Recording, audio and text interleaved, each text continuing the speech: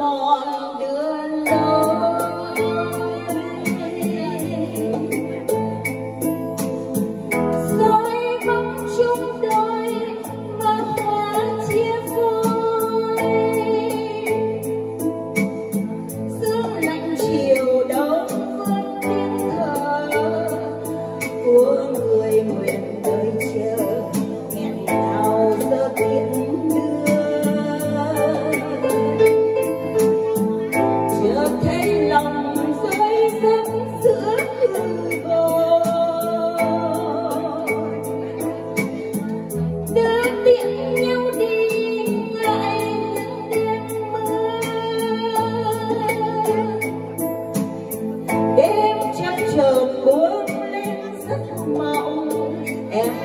trường gặp